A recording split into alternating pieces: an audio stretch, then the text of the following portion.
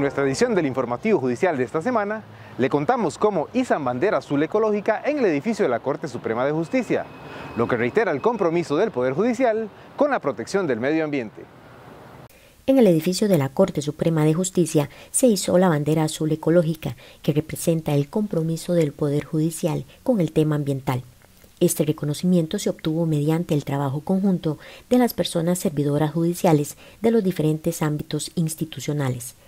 Para obtener este galardón se cumplieron una serie de parámetros a través de la ejecución de acciones dirigidas a controlar y disminuir el uso del agua, energía eléctrica, combustibles fósiles, la generación de residuos e impulsar la reforestación, entre otros aspectos. La bandera no es así simplemente que nos otorgan ese beneficio, sino que es un esfuerzo enorme que se ha hecho en, eh, en, las personas servidoras judiciales que elaboramos aquí y que cumple con parámetros establecidos previamente por el Ministerio de Ambiente y Energía, concretamente por el DIGECA, que es el que nos manda auditorías ambientales para evidenciar si estamos haciendo las cosas correctamente o no.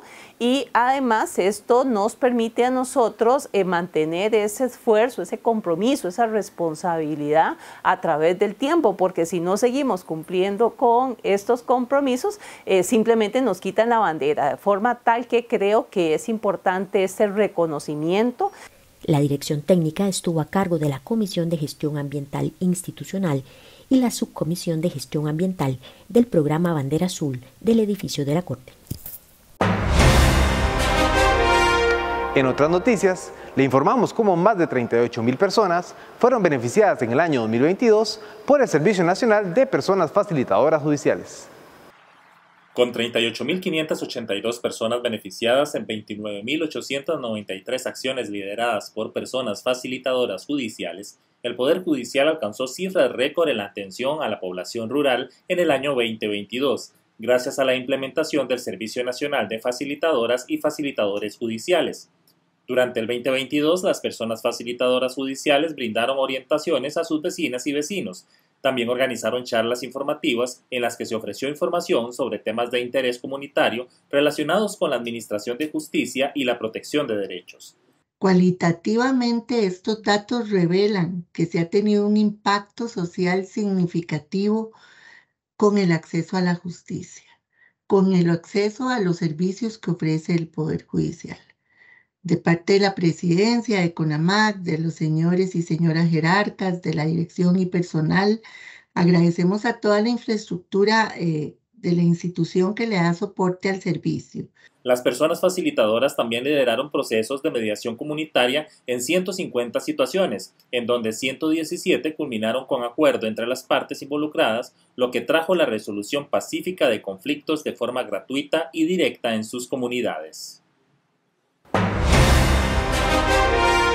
Además, le contamos cómo datos generales en materia de cobro judicial se encuentran disponibles de consulta en el chatbot.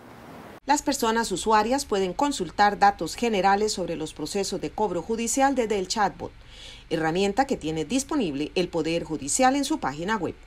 Habilitar la consulta sobre procesos de cobro judicial permite que la persona usuaria obtenga la información de manera rápida y directa. El objetivo es integrar dentro del desarrollo de inteligencia artificial temas que competen a la materia de cobro y que facilite la consulta a las personas. El usuario puede entrar al chatbot, puede eh, consultar con su número de expediente aspectos como eh, la clase de expediente, el, el trámite que lleva, cuál es el juez tramitador del mismo, la oficina que tramita ese expediente y así algunos datos que eh, no son sensibles. La persona consultante debe digitar en la aplicación el número del expediente del proceso correspondiente. Le invitamos a ver a continuación nuestra sección Poder Judicial en breve. Poder Judicial contará con juzgado de ejecución de la materia de trabajo el próximo primero de febrero de 2023 iniciará funciones el Juzgado de Ejecución de la Materia de Trabajo en el primer Circuito Judicial de San José. Este despacho conocerá de forma exclusiva los legajos de ejecución y las sentencias dictadas por los diferentes juzgados de trabajo. Personas usuarias pueden realizar consultas sobre impedimento de salida del país de manera virtual.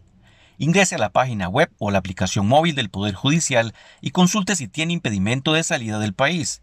Digite el usuario y contraseña del sistema de gestión en línea que se solicita previamente de forma personal en cualquier despacho judicial o en la Contraloría de Servicios.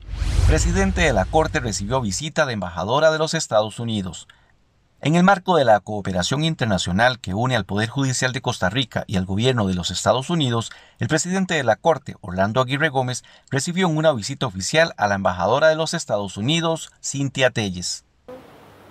Para conocer más sobre el acontecer judicial, le invitamos a ingresar a nuestras redes sociales.